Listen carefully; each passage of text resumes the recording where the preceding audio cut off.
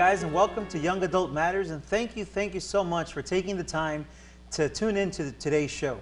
Talking about time, you know, today we're talking about organization. And whether it's, you know, our busy lives with work, school, church, family, volunteer, you know, plus all our daily activities, that's what we wanted to talk about today. You know, we have so many scheduled uh, activities, and then you know, add in maybe some stress, your car breaks down, you need to find a new job, different things like that, and kind of ruffles our feathers. And, you know, it's no wonder why any little thing kind of throws us off a little bit. And according to Vital Stats, 60% of Americans say that they don't have enough time for everything. So, again, thank you for your time tuning in here to Young Adult Matters. I'm here today with Miguel, Ruby, and with Joey. So welcome on the show, guys. Good to be here. Thank you. You know, we, we always talk about time, and, and it always seems like whenever we, we meet up with someone or talk to someone, it's always like, you know, the issue kind of comes up, you know, where I need more time, or I wish I had more hours in the day, or more days in the week, and stuff like that. Have you all encountered kind of the same, some of the same situations with oh, that? Definitely. With uh, with school, with a lot of assignments, you know, writing papers, it's like, oh man, you know, I need more time. This is a, it takes a lot of time to really focus, and and with a lot of distractions that are going on in this world, it's like, how how can I, you know, be more efficient in using my time when it comes to writing a paper that's due within the next week or within a couple days. It's like I, I need to balance school and, and a lot of different stuff. So, and and you bring up a great point, Joey, where um, being organized. A lot of the times, you know, we say that we don't have enough time, but it's it might be an issue of, of not managing our time right. Um, there was a, st a, stat by the the Wall Street Journal where it says that the average um, person will spend six weeks looking for misplaced things uh, or on a messy desk and stuff like that. So six weeks in, in our lifetime. So that translates to about in a year. Or in a year. That's right. Within a year. In a year. I think I think mine might be a little more than that. yeah. And it, and, and, so it's a, a lot of the times it's about the disorganization, either with our activities or our desks or our office or whatever it may be. Um, do, do Six weeks in one year, in one just year. like looking for misplaced stuff. Yeah. That's like an yeah. hour a day, right? One hour a day, yeah. So wow. just think about the next time you're looking for your keys, the next time you're looking so, for... Sounds about right. you know, think about the next time you're looking for your keys or the next time that you're looking for... A paper um, that's a, a post-it, a, a, phone number. Yeah, exactly. Misfiling. I mean, I know I'm trying to. Uh, that's something that I'm avidly trying to work on. Like, what do you? What, do y'all are on the same page or? Yeah, actually, kind of about the key thing. My mom has the worst tendency of losing her keys, and I'm sorry, mom, for putting you on the spot. But even you know it's on public true. television, right? yeah. Well, she not only does she lose. Well, well sometimes she loses her. We'll leave it at that. But here's the list. My mom. Today is grinding Ruby's mom day. Oh, I love. I'm so sorry, mom. I love you so much. But it's an example for everybody. Okay, this this will help. All right, so she loses her keys a lot sometimes. Well, okay, she loses her keys every now and then. and um, well, I mean that. She asked me, Ruby, where are my keys? I don't know where my keys are. My dad's asked my. She asked my dad where are the keys. I don't know. And and so it just turns into like everybody searching for keys right when she needs to leave or right when somebody needs to leave, you know? So we've made it, um, well, as a gag, I told my mom, like, I'm just going to buy you like some sort of like attachment to the key so that way it rings every time you lose it. But we, we never bought that thing. But something more practical for everybody to do is to just, when you come in, um, when you come in, do you park in your garage or park outside your house or something, get a drawer that's right close, that's so close to the door like right next to the door. We have a cabinet that's uh, in our kitchen when we come in through the garage, and and um, right there we we put we had a little basket inside, and we just toss our keys in there, and you never lose your keys again as long as you remember to put them in there. So they're always going to be there, and you don't need to. If you're in a rush, just go out your door, grab the keys, and take off. So that's what my mom and I have have learned to do, and so has my dad, and and that yeah, would happen a, at, at my house thing. too, but we came up with a uh, key bowl. So we toss them in a key bowl. And then your son. And, and, then yeah, but now we have now the key bowl's on top of the refrigerator because we have a uh, terrible twos that's now terrible threes, and we'll be um, hopefully we'll we'll outgrow that stage soon. So today we're also throwing all our family members under the bus. yeah. And it's okay because Andres can he doesn't watch the show, or maybe he does, right? Well, he, he, he does. It's like Diocese of Bumville, you know, the Diocese of Brownsville. So he likes the, the show. Yeah. So again, we're talking about organization and, and keeping our stuff together, and it always seems that we, you know, we start off. Today is the day that I'm organized, and you know, we'll, we'll tackle our desk, and I have this here and this here and this there. Um, what are or what are some of the things that are or that you've tried or that you've done, talking about uh, to stay organized and, and be efficient? You know, we we hear the the term efficiency, streamline, a lot of things coming together to be, you know, optimal performance. What are some of the things that maybe you've encountered or you've done yourself? Well, now to put my mom back on the spot, real quick. um, I would. I used to be very disorganized. Sometimes I still am. I mean, we're human. But when it comes to the point where it's like, what do you do first? Like prioritize. My mom always tells me make a list, and she always. It, whether it's not just for the things that we have to do, but I'm guilty of of not cleaning sometimes. Um, so as many of thanks. but yeah, I'm, I'm guilty of not doing some of my chores. And um, my mom would be like, some of your chores? But, but yeah, um, that happens. And she's like, I need to see how long it takes you, not just for me, but for you. You need to see how long it takes you to do a certain uh, task, whether it's clean the counters or wash the dishes or maybe sweep the living room or something. Write the task that you do, see how much time it takes you to do it, you know? And just that it kind of that kind of helps you uh, see how much how much time it takes for you to, to do those amount of tasks. Okay. So making a list. It isn't uh, just just making a list in general. I think that's a- just a first step because it tells you what you got to do, how much time you need to do it, and where it fits within your day. So I do something very similar that I call a projects list, and I kind of write down once a week. I have what I what you know um, what I call a brain dump or something I read somewhere that you just get a white sheet of paper and you you empty out everything that you have to do. So you list the project and then you list the next actions. What are you know who, what's the next action I need to take to move this forward? So it's call so and so or talk to you know meet with somebody or whatever it is. I have the project. I have the next steps. And then, if possible, I try to put some dates to it, like when, when is it due or do this step by when. Um, in uh, principle, I mean, there, there are a number of really good ideas out there. It's training ourselves to have the discipline to, to follow through on them and to do them regularly and to do them um, habitually so that we incorporate them into our, our daily lives. I've you know, come across countless you know, best practices and tips. It's the challenge of really doing something with them that is, is the struggle. And, going in line with that with that challenge that you said that you know and, putting them into practice, what do you think are the the roots? You know, because a lot of the times we you know we'll talk about um, the root of the problems, or when we're looking at our, at our examination of conscience, when we're looking, you know, what sins have I done, or what preparing for confessions, we look at the roots. We you know it helps through spiritual direction to or I found to find what's causing this. So now putting it into context now with, with our, our organization or lack thereof organizations, what do you think are maybe some common reasons or, or root causes for disorganization or lack thereof, lack of organization?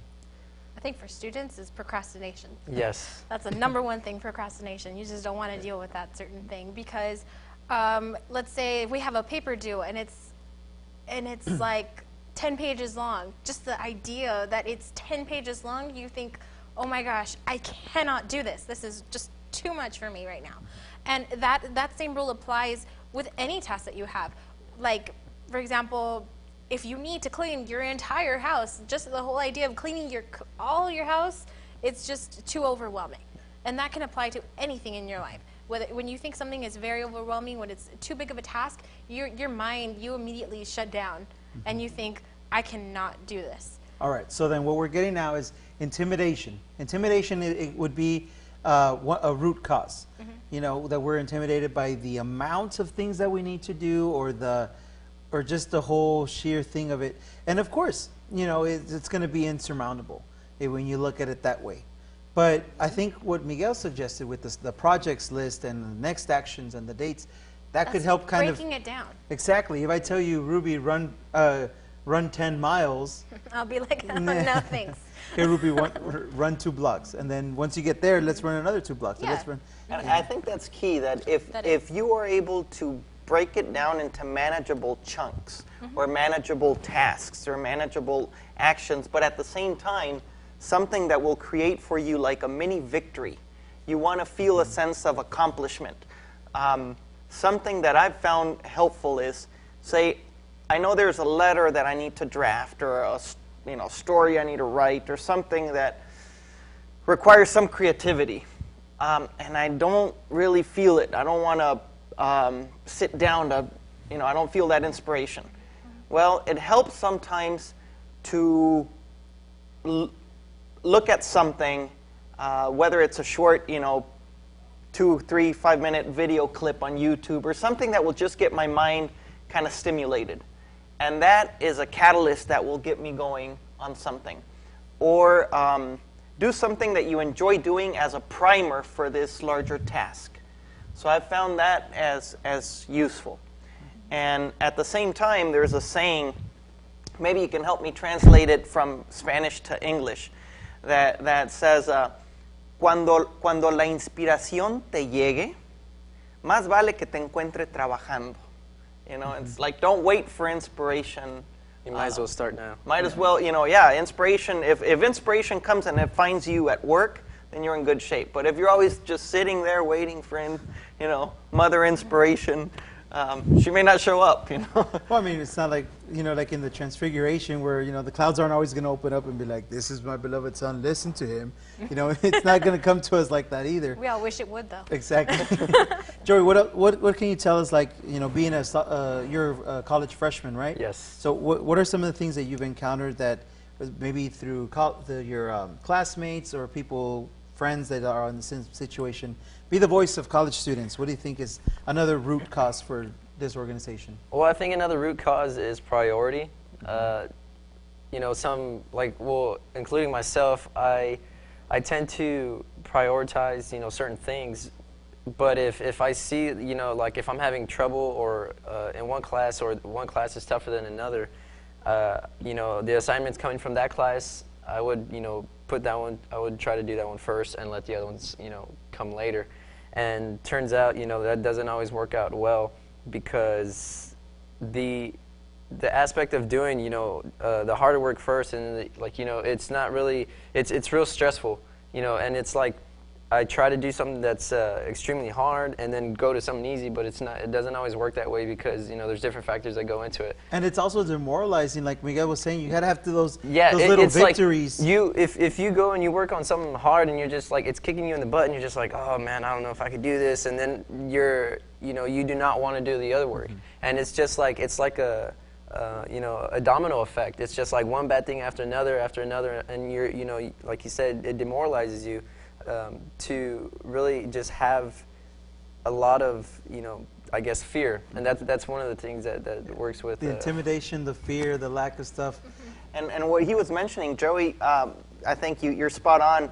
For all, all, our, all our teachers out there, I, you know, they use a, a process called scaffolding, like building on. You, you start on a smaller, kind of easier task, and, and you, you know, build on that. yes.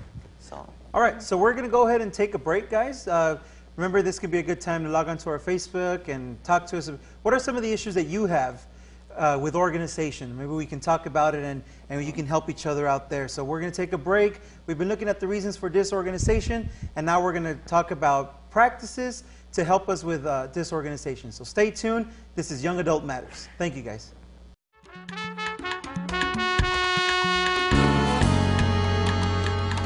Welcome back to Young Adult Matters. We've been talking about organization or lack thereof and the different um, reasons why we're disorganized. And some of the things, just to recap, has been intimidation. Whether you're overwhelmed or you're intimidated by the task at hand, you know, organizing your desk or misprior- or not prioritizing things or putting things off, the procrastination. So again, I want to welcome Miguel, Ruby, and Joey. We've been talking about this and so obviously we know that it's an issue, it's, it's happening and it's in front of us. But what are some of the ways or some of the tools? You know, I can't, if we wanted to, to build a sculpture, we can't just say sculpt. You know, we need tools. We need uh, different things. So, what are some of the tools that we can use to handle or to take care of this organization issue that you all know First of all, I think you need discipline. Discipline, Discipline. so much um, in your own life. And um, Miguel shared with us that it takes about 21 days for you to build that habit into your daily routine. So A habit, like any habit. A like habit. a habit, yeah. a Like for habit. me, putting on my seatbelt. If I were to do it for 21 days, put on the seatbelt before starting the car, no cops out there watching, uh, um, maybe I would have that kind of ingrained or, or build that habit into my daily living. So definitely, it's going to take some work, and it's going to take. First of all, it's going to take our initiative and our desire to want to do it, and to remember because for those 21 days, that initial moment, it's it's work, you know, and and, and already then 21 pay off. days to some people, that sounds intimidating already. Yeah. So, So let's do it for a week. think about it like this just take it one day at a time. Yeah. You know, I mean, 21 days, it sounds like a lot. And we were talking about when you when you have a big task at hand, it's really intimidating. Mm-hmm. So basically what I'm trying to say is take it bit by bit. Yeah. Have it in increments. Um, I know when I was in, in band, I know you were in band too, Joe. I'm sure some uh, my, my band director, as well as maybe some other ones, um, well, he told me, um, he was a band director for, for um, clarinet. I was in the clarinets, and he said, if you don't want to practice, take it like this. Just practice five minutes a day. And we were like, what? Like five minutes a day? Really? He's like, yeah, because take it little by little. Because even though I want you to practice half an hour or an hour, just take it five minutes at a time. That's and then, the- and then just keep, just commit to those five minutes, and then you're going to be like, well, I already did five minutes. I went by really quick. You know what? Maybe another five minutes, and then those five minutes will escalate to uh, 15 and half Mm-hmm. an hour. You know, um, it's it, you're going with the little victories that you said. Yeah. Just overcoming that, you're going to be like, you know what? I can do this, and that kind of just snowballs into you building a better habit. In fact, that's a personal story, and I'll take out the violence. That's how I read the, the, the Gospels. I was, um, I was talking with, with Angel, a director of youth ministry office, and an old friend of mine, and we were talking about how I said, I need to, I need to read more, I need to read the Bible. You know, I'm, I'm a Catholic, but I haven't read the, the Gospels. And so he said, read five minutes. And with the same principle. But with, to build the, the habit, but you need to have a trusted system. And that's something that I've read now through getting things done or different things through uh, productivity. Um, it's a hobby of mine to l- read up on that stuff. I like all the productivity, streamlining, all that type of stuff. And it says to um, have a trusted system to fall back on. And like in our faith journey or in our lives, sometimes we need that trusted system. Thank you, sacraments. You know, the sacraments are that trusted system to help us stay on track with the sacrament reconciliation, with the Eucharist. Same thing for, for organization. Have that trusted system. So I would read the Bible, read the Gospels, five minutes. No more, no less. I committed to five minutes. But after a while, not only did I get through the Gospels, but then I built that habit to, okay, I can handle more than five minutes. So then I started reading 10 minutes and then spending some more time, whatever I can. So it's having that trusted system to build those habits and to, you know, train yourself. You know, it's like working out a, a muscle. You know, you don't, you're not going to, like, again, with the running, we're not going to run 10 miles right now, but if we run maybe a mile, and then we can run two miles, and then we can mm-hmm. handle it and build ourselves. So that's, mm-hmm. And at the same time, there are, there are tools. For instance, how cool would it be? How cool would it be to, I mentioned I struggle with the seatbelt, to open my door and have my car talk to me and say, remember to put on your seatbelt. You know, I mean, if, if I had that kind of help, I think it'd be a lot easier for me to put on the seatbelt. But nowadays, there are a host of applications on our phone, a computer, that can be those tools that can give us little reminders, that can big, give us little hints. And I know you use one called uh, Remember the Milk. remember the milk. Yeah, it's on the website. It's also available on the phone. Dot com. Yeah, rememberthemilk.com is, is a very it's a good one. It's basically what that one is is a um, it's a digital task to do list that you can. But what sets it apart from you writing it down is that you can set reminders. You can set and and then you can link it to like let's say your Google account. Many phones out there are now linked with Google and your Google account, so it'll pop up on your calendar like do this. And so you can set up the, the task and then, you can complete. Um, well, you know, once you're done, you say, okay, I, I've completed it, and then you, you can customize it on how you how the layout is and stuff like that. So remember Like the milk is a stuff at one. home, stuff in the office, stuff at um, Definitely, yeah. Or if I'm gonna books to read, or Yeah, or if I'm gonna, you know what, I have some time to sit at the computer. So you list all the things that you need to do at your computer. Or I'm gonna be at the phone and you can write it down. So remember the milk is a good one. And of course, like any other ones, there's the free one and then the unlimited, the pro version that goes a little bit more. But then there, there's other there's other apps. I know um, there's one, Good Habits, and it's basically the same thing and you schedule it. Um, do y'all know of any other tools that we can use maybe? There's Evernote and Catch. Evernote, Catch. what, what, what uh, like I use Catch. I like it a lot. It, you know, uh, because one of the things that I've read out there is if you have a thought, write it down because that, mo- especially as you get older, that moment of brilliance will escape you. If you don't take the time to write it down, you know, you'll forget about it. So. Um, write, write it down is probably a, a great suggestion. But now, as we have our phones and, and kind of rely on our phones for a lot of things, this real cool little app will let you take a picture of something and, and you have it on your phone and you have it, it syn- synchronizes that online. Or if you have a thought, you just speak to it and it's there, it's on your computer. Um, same thing with, um, say, a website, you can capture that, that image. So it, it kind of serves as a hub. The name of it speaks for itself, you know, catch. You just catch whatever thought, idea, uh, resource, website, book, and, and you have it available on your phone, on your computer, and, and you can refer to it regularly. What So- is Evernote? Evernote, I don't know too much about, but it has the same gist It- of it's it. the same. They're, It's a- they're about the same as Catch. It's just it's a different layout. It's about like Catch and Remember the Milk. It's just how they Yeah. approach doing it. And just FYI, you guys, like these apps are they're free unless you want the pro version. Yeah. You know, those cost money. But I mean, even those those people who may not have a smartphone, I mean, you can still. We're, we're human. There's so many mm-hmm. things coming into our minds. Like so many, so many things and stuff mm-hmm. that comes into our daily lives. So I mean, we can't remember everything. So when you can, like Miguel said, just write it down. If you don't have a phone in handy, just carry um, maybe just a little post-it notes or or just planner. a little yeah a planner. a planner or Mm-hmm. some a little writing pad in your purse, or if you're a guy, you know, you want to carry a tablet or notebook type of thing, or Mm-hmm. because we don't usually carry purses. But Yeah. Yeah. And besides the apps, you know, Madonna lived in a material world. We live in an app world. There's plenty. So search the market, search the app store, search whatever it is for all these apps that are tools. But besides just the tool, the, the apps, there's I don't want to call them systems, but they're systems. Like, for example, I mentioned Getting Things Done. That's a book. There's a book, Getting Things Done, that has a system, and it, it's, there's a real cool diagram that helps you to organize and take care of the tasks that you need to do. For example, mm-hmm. you, you know, there's the, like you said, the brain dump. And then you look at something that needs to be done, and can I do it within 30 seconds? And if the answer is yes, then do it. Again, same thing. The thoughts in your mind, go ahead and do it. And then, no, I can't do it right now. So then it, it shows you, well, then you incubate it. You know, you just let it sit there, or you delegate it to somebody else, or you defer it to something, uh, to another, delegate it to another person. Defer is you take it to a, a different action. And then, it, and so then you can move forward with that. And then if you look at it on the other side, yes, it is actionable. I can do it in 30 seconds. Either you do it now or you toss it.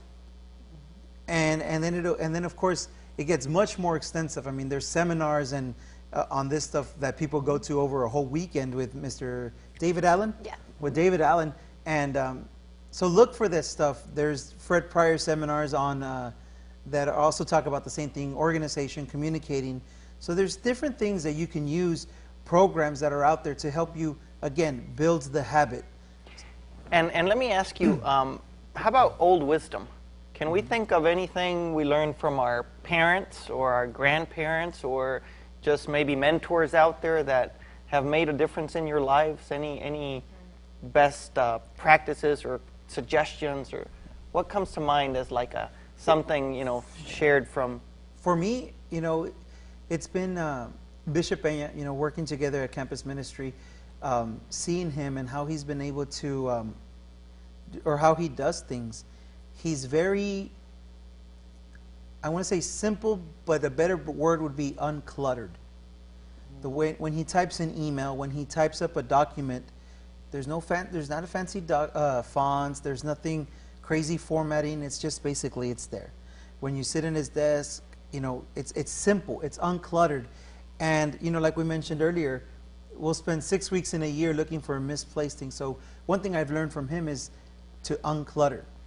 And in reading from productivity stuff, you know, don't put something, oh, I'm going to put it here and I'm going to clean it later. Do it now. You know, Mm-hmm. clean. The, the more uncluttered and, and laid out things, I've learned from Bishop Peña that you can be, you know, it's been More very effective. productive. Yeah. What about you, Joy? Do you have anything that, Oof. Uh, well, I think I think one thing that I really learned was from my from my dad. Uh, he, you know, being the head of the household, he'd always tell me, if you're not going to do it now, you're not going to do it ever. So do it right now. And that's one thing that that just kind of stayed with me. It's you know, do it now. And and sometimes it's hard to because you know you have other things that you want to do, or you know, it, of course, the priority thing again. And it may not sound you know important, but the I guess the main thing that I did learn from my dad was you know it's either do it now or you're gonna have you know a, a, pro- a problem later. I had a teacher, a choir teacher, um, Mr. Snyder. He said, if it's worth doing, it's worth doing right the first time. Because if you don't do it right the first time, You gotta do it where, again. where, well, where are you going to find the time to do it right the second time? And you know, it's something over three years that I've that we were together that I I learned. That I kind of pieced all of that together, and it, and it makes sense for that. Ruby, how about you? Do you have any anything to share? Well, right now I can't think of anything. Uh, I can think of something. Okay. well, no, but I mean like like for my family members, but I guess just in an experience of actually living it. Um, sometimes I would I would take on too much. A- As a person, I mean, sometimes you think you can do this and you can do that and you can do this other thing, and you you you build so much in your life because you have so many roles. Like we mentioned at the beginning, some of us are students and we're family members and, and all this other things. And and for me, I mean, I have my job, I have my little brother to take care of while my mom goes to school. I I have housework that I normally don't do sometimes. Sorry, but um, we think we can take on so much, and and and eventually that that causes us to a little bit break down. But uh, what I'm trying to say is is when when we take the time to actually do just the small things. You know, it, it, it ends up becoming something so much more. Like we can get those things done. So I guess that was that's just it. Like I don't really think of anything else right now. Kind of judging from, um, you know, my, my grandma would, would share with me, uh, two things come to mind. One is she would, she would always um, encourage me to ask myself, is this the best use of your time right now? And I think that's a cool phrase. Is, is this the best use of your time right now? And then also she told me, um, keep a writing pad by your bedside because sometimes you will get these thoughts in the middle of the night that won't maybe won't let you sleep. Well, if you just jot them down, you kind of transpose them from your mind to the paper, and you'll be able to have a restful night. Well, those are great ideas and stay organized. The most important thing is do something and take action. Thank you for joining us at Young Adult Matters. We'll see you guys next week. Bye bye.